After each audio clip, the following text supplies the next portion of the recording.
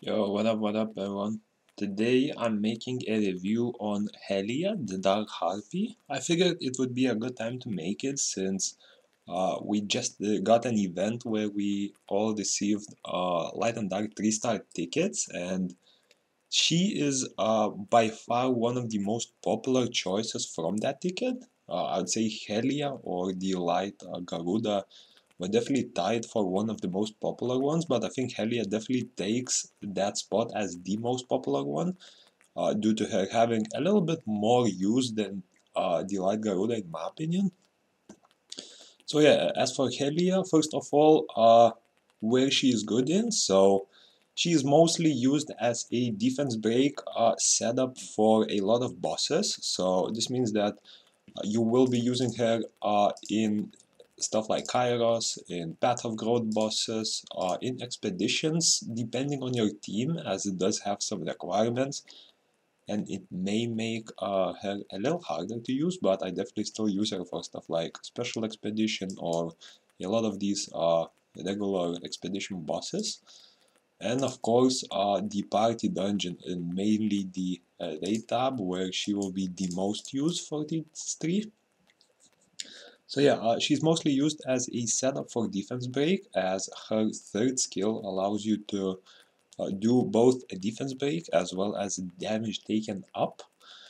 And uh, what teams we use them for mostly, I'd say from what I've been using her, uh, for single player dungeons, stuff like Kairos, Path of Growth, Expedition, uh, I found that a team similar to uh, this, let me try to refresh one ticket real quick. Yeah, so for me, uh, I found that Hellea is best used uh, with either two damage dealers or one damage dealer and an attack buffer. So for example, this uh, would be somewhat of a team that I would run for a lot of dungeons. Uh, if I see that the element uh, simply does not work, for example, if I'm fighting a water boss, uh, bringing Karambit into there wouldn't make sense. I would uh, swap out for a attack damage uh, increaser, uh, making Naomi's, for example, attacks way stronger. And the same thing if I'm fighting something of a fire element, instead of Naomi, I would bring Karambit, and he would be the sole damage dealer. But with the defense break and damage taken up from Hellea, as well as the attack buff from uh, Bastet, uh, Karambit usually has more than enough damage to clear a dungeon in like 10 to 15 seconds. And yeah, uh, so overall, of course, if you haven't looked at it yet, I'll quickly go over her skills. So her first skill doesn't have anything special, just a regular 165 attack multiplier.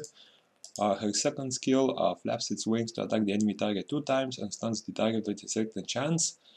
Uh, and the third skill uses Ferocious Claws to attack the enemy target and each hit has a certain chance to apply defense down and damage taken up.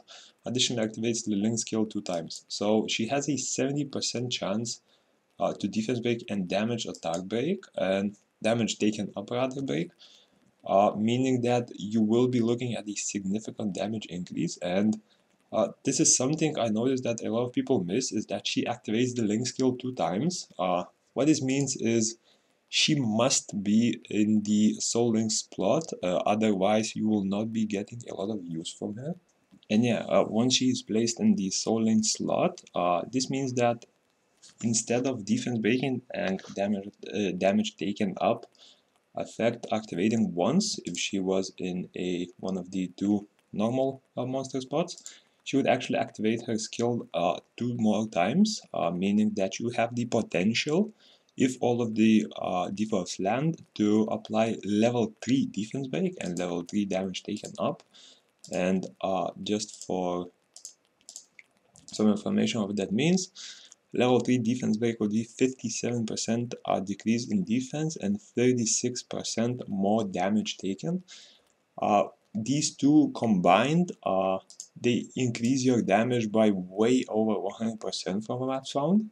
And it's actually comparable to having a attack buffer instead, uh, meaning that Hellea and two damage dealers are definitely still a very viable team.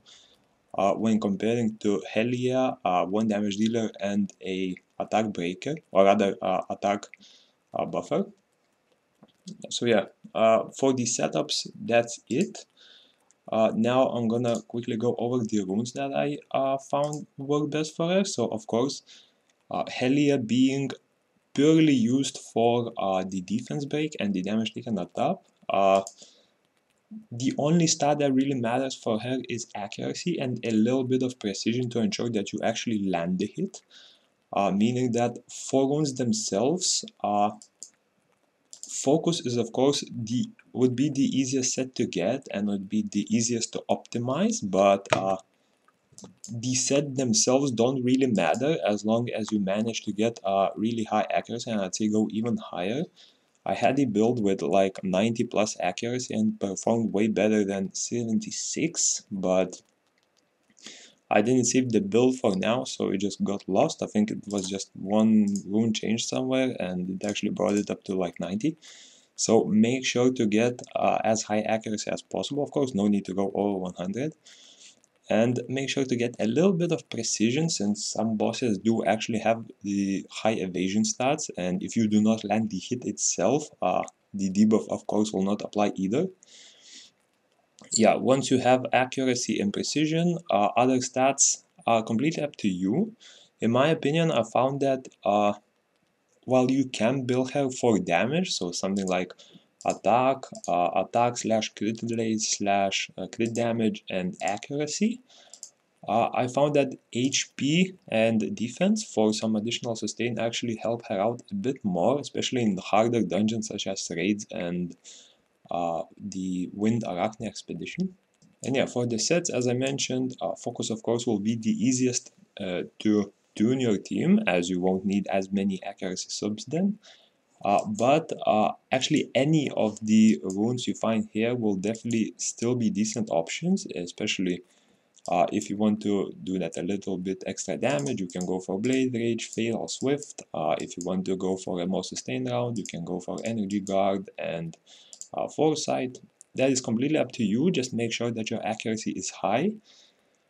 And yeah, uh, as for Awakening, this is another great thing with Hellea. Uh, unlike a lot of Nat 5s and Nat 4s, where you use them in PvP, Hellea will not really be used in PvP, meaning uh, you actually do not need to go high with the Awakening monster levels. I did mine just because I find convenient to use uh, some of the power bonuses and not having to switch some teams for the dungeon. Uh, but if you are able to reach the power bonuses for all of the dungeons you want, uh, you can definitely not uh, go higher than the level 5 awakening on her.